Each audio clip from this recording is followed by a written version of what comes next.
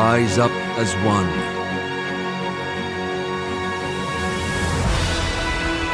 To defy all odds.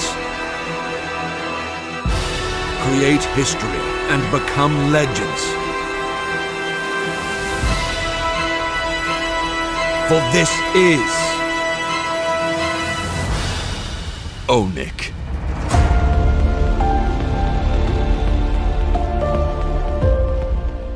Suns beberapa waktu lalu telah resmi diumumkan sebagai pemain baru di tim Landak Kuning atau Onyx Esports. Kepindahan Suns ke Onyx Esports sebenarnya sudah tidak mengejutkan lagi, mengingat pemain yang satu ini memang belakangan sudah dirumorkan akan segera bergabung dengan tim Landak Kuning tersebut. Kesuksesan instan langsung diberikan Suns Gilang kepada tim barunya. Onyx Esports.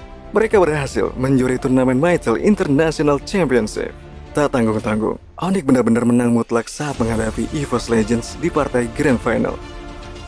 menit minionnya masuk no di Oh, TBI. Onik Onik ID bakal langsung menyelesaikan dan 3-0 Onik are your champion Mytel International Championship 2020 Gila, congratulations untuk Onyx ID.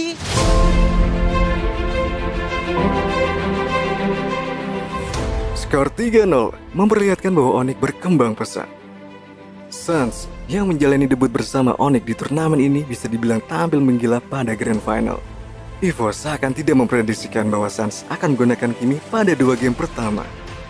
Memang dikenal sangat GG memainkan Kimi kala masih di Victim Esports. Suns benar-benar memborbardir EVOS Legends.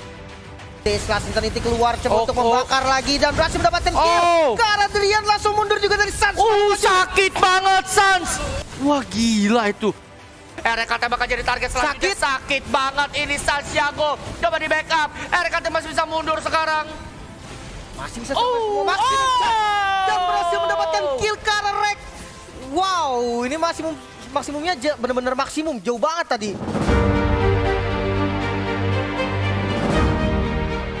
Ini menjadi modal besar bagi Onyx menjelang MPL Season 6. Sun sendiri memiliki kemampuan yang sangat hebat di pro scene Mobile Legends Indonesia, yang mana dirinya pernah menjuarai ajang MDLI di Season 1 bersama tim Victim Esports.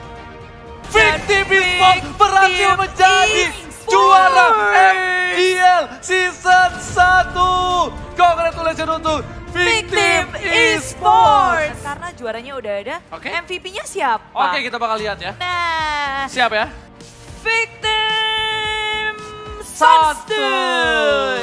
Wow, dengan perolehan 25 kill, 6 dead dan juga 19 assist. Sebenarnya, bersama dengan tim Victim Esports, Sun sendiri sudah memiliki chemistry yang kuat dengan rekannya di Victim. Namun setelah Muntun memutuskan untuk tidak menambahkan slot tim yang bermain di MPL, semua itu membuat para pemain Victim kebingungan. Bagaimana tidak, di satu sisi mereka sangat ingin bermain di MPL, namun di satu sisi mereka tidak ingin meninggalkan rekan-rekannya di Victim. Hingga akhirnya, keputusan yang harus mereka ambil adalah keluar dari Victim, seperti apa yang dilakukan oleh Rainbow dan Suns.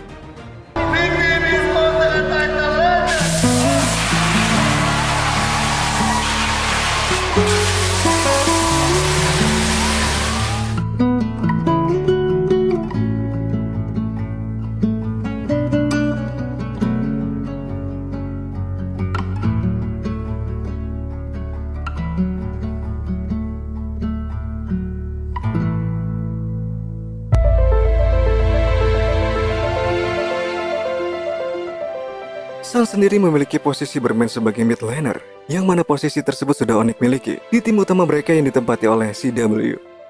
Sementara itu, untuk biaya transfer yang dikeluarkan Onyx untuk membeli Suns dari Victim tidak disebutkan sama sekali. Namun menurut kabar yang beredar, Onyx membutuhkan dana kurang lebih 100 juta rupiah. Harga yang mungkin layak berdasarkan pengalaman dan prestasi Suns sendiri. Modal besar yang dikeluarkan oleh Onyx Esports tidak sia-sia karena mereka dapat menjuarai Mytel International Championship 2020. Padahal beberapa waktu lalu, Onyx Esports harus sabar melepaskan salah satu pemain terbaiknya, yakni Udil Surbakti yang ditebus oleh Alter Ego dengan rumor transfer mencapai 300 juta rupiah. Sejatinya, pemain muda Onyx, CW, sudah mampu unjuk gigi menggantikan posisi Udil. Ia sukses membawa tim landak kuning ke babak playoff MVL Invitational pada awal Juli lalu. Namun, manajemen napak belum puas dan kemudian mendatangkan Suns dari Victim Esports yang musim sebelumnya menjadi MVP di kompetisi MDLID Season 1. Salah satu pemain andalan Onyx, Psycho, membenarkan jika Suns akan diandalkan di sejumlah turnamen Mobile Legends. Nah itu kira-kira antara Suns sama cewek, kalau dari lu sendiri kira-kira yang bakal main siapa? Kayaknya Suns deh. Suns. Alasannya apa? Udah dibeli mahal-mahal masa nggak main? Gue gila unik. Itu Suns emang mahal berapa sih? Berapa ya? Gue nggak, sumpah gue nggak tahu cok. Oh, nggak tahu sama Nggak sekali. tahu. Yang lu denger-denger isu-isunya tiga digit ada nggak? Ada kayaknya. Ada. ada. Harga mobil juga berarti. ya? Iyalah, Lebih mahal Udil atau Suns? mahal Suns kayaknya. Sumpah. Kayaknya. Wah. Pemain yang memiliki nama lengkap Teguh Imam Firdaus ini memang menyayangkan kepindahan Udil dan diumpamakan sebagai duri landak yang patah. Namun, hadirnya Suns kembali mempertajam sang landak. Udil aja kemarin kisaran kata si Max tuh kan 300. 300-an, iya. Suns lebih mahal lagi. Hmm.